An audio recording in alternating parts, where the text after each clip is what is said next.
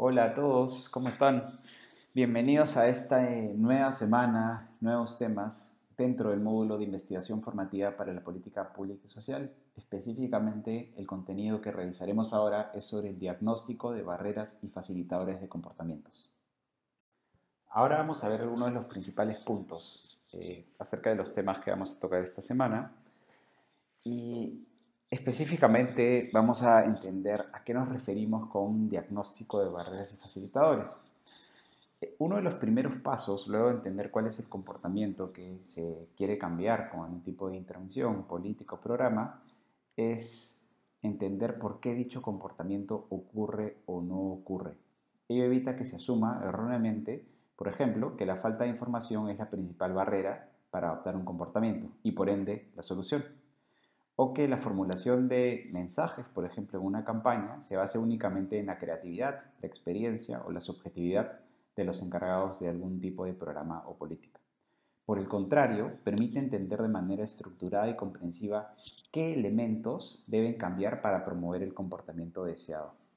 Esta comprensión generalmente se obtiene a través de un proceso de diagnóstico, en el cual se exploran e identifican los determinantes, es decir, las barreras y los facilitadores que impiden o posibilitan que el comportamiento o comportamientos de interés se presenten. En base a los hallazgos, se diseña la intervención, la política, el programa, la iniciativa que atienda directamente a las barreras y o facilitadores identificados. Es decir, antes de yo decir cuál es la solución, qué es lo que voy a hacer, primero, para poder diseñar en realidad esa solución de manera exitosa, debo entender qué está limitando que el comportamiento ocurra o no ocurra como debería. El término barrera se utiliza, eh, como o se refiere a un elemento que puede obstaculizar o dificultar que un comportamiento se realice. Por ejemplo, si estamos en, promoviendo el lavado de manos, no, no saber cómo hacerlo correctamente o olvidarse de hacerlo podrían ser barreras que impiden que ocurra.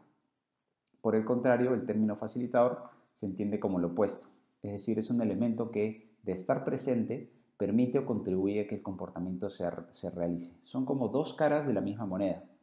Siguiendo el mismo ejemplo de lavado de manos, recordar lavarse las manos o saber cómo hacerlo correctamente podrían ser facilitadores que posibilitan que este comportamiento ocurra.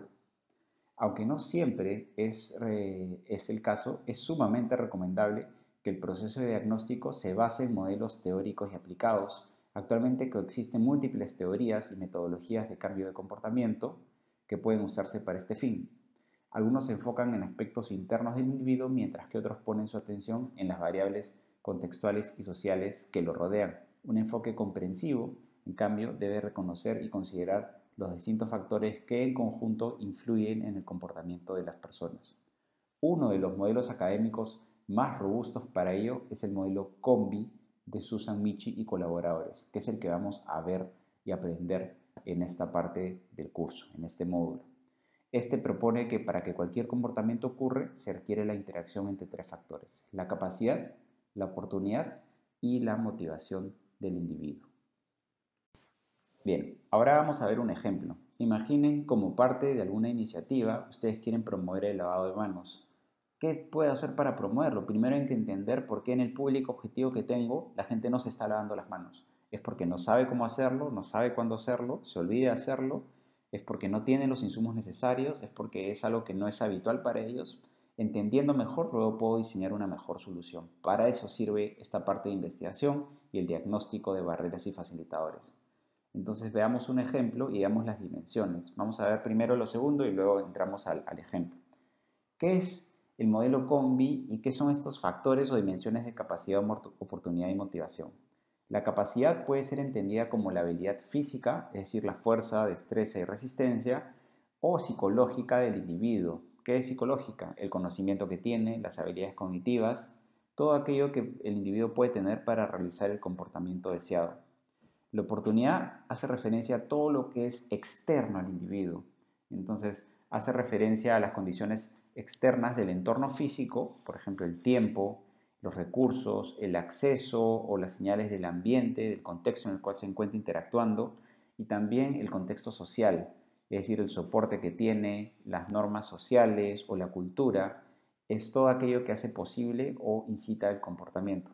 Y finalmente la motivación, que es definida como los procesos mentales, conscientes o subconscientes, que energizan y dirigen el comportamiento. Puede ser las emociones que tiene el individuo y que pueden afectar su comportamiento, la evaluación concienzuda de costos y beneficios, las metas que tiene, las intenciones que tiene, las necesidades, los hábitos, etc. En ese sentido, hay que entender que todos son factores que podrían estar influenciando que el comportamiento ocurra o no ocurra y la etapa de investigación justamente investiga a través de métodos cuantis o qualis para entender cuáles de estos son más prevalentes en el público objetivo y así saben cuál atender con algún tipo de intervención. Entonces nos podríamos preguntar si las personas eh, tienen una barrera de capacidad. Por ejemplo, pueden no lavarse las manos porque no conocen el procedimiento correcto para hacerlo. La forma de lavarse las manos, la duración de 20 segundos como mínimo, puede no ser un tema de capacidad, sino de oportunidad. Como por ejemplo, si saben cómo lavarse las manos, pero no tienen agua limpia y jabón como para hacerlo. Entonces, vale la pena detectar que eso ocurre en la investigación. Pero podría ser ninguna de las anteriores, podría ser un tema de motivación. Tienen acceso a los recursos, saben cómo hacerlo, pero realmente creen que es innecesario, ¿no? es importante, no tengo la intención de hacerlo, o está muy poco engranado dentro de sus hábitos cotidianos, ¿verdad? No tienen hábitos de higiene instalados o bien instalados y por ende va a ser difícil hacerlo. La tarea de la investigación es entender cuáles de estos están presentes y en qué medida para saber luego qué tipo de solución va a funcionar mejor eh, con el objetivo de promover el comportamiento que se quiere eh, cambiar. Habiendo revisado entonces y entendido de forma básica a qué se refiere un proceso diagnóstico de barreras y facilitadores y su pertinencia, con más énfasis en barreras, que es lo que se tocó en el ejemplo, cabe hacerse la pregunta, ¿cuáles serían las principales barreras que dificultan que las personas se vacunen contra el COVID-19? Identificándolas de manera clara, y estas pueden variar en el tiempo, de hecho, vamos a poder diseñar mejores intervenciones que intenten promover el cambio de comportamiento y en este caso fomentar la vacunación. Bien, para terminar me gustaría enfatizar un punto que es, este es un medio para un fin último, que es lograr un cambio de comportamiento exitoso. Entonces, para lograrlo es más probable que pueda hacerlo si es que primero un proceso de diagnóstico que es robusto y que es adecuado. Por ejemplo, en el lavado de manos, yo puedo tener una solución, pero no sé si va a funcionar. Si antes he investigado y entiendo que las personas en mi público objetivo no se lavan tanto las manos porque no tienen acceso a los recursos, pues mi solución va a tener que tener un componente de acceso al agua limpia y jabón. Si en cambio encuentro que la gente tiene los recursos, o una minoría tal vez no los tiene, pero la mayoría los tiene, y la mayoría más bien lo que no tiene es un hábito instalado, pues mi intervención va a ser dirigida al cambio de hábitos. En ese sentido es más relevante que tengan éxito y la investigación es un medio para un fin último. La investigación puede seguir diferentes vías. Puede ser investigación ya existente, que simplemente cojo, ¿no? Puede ser investigación primaria, que yo realizo a través de, medios o de investigación de tipo cualitativo o cuantitativa, para dimensionar mis, eh, las barreras. Puede ser que no tenga acceso a los recursos para hacer investigación y tenga que hacer un ejercicio de introspección con, el conocimiento del público objetivo que ya tenga dentro de la organización en la que trabajo, etc. Hay diferentes medios pero en todas se puede aplicar al menos algo de este proceso de diagnóstico que hemos visto. Y finalmente, eh, estamos en una lógica secuencial. Una vez que tengo el objetivo de comportamiento claro, en este caso el lavado de manos, podrían ser muchos otros, luego se hace el proceso de diagnóstico. Y qué mejor manera de hacerlo no a través de una hoja en blanco, sino a través de modelos que permiten estar seguros de que se cubre de forma comprensiva, es decir, completa los diferentes determinantes, diferentes factores que pueden influenciar y sistematizar también la información que se recoja de forma que pueda ser más fácil luego tomar acción sobre ella.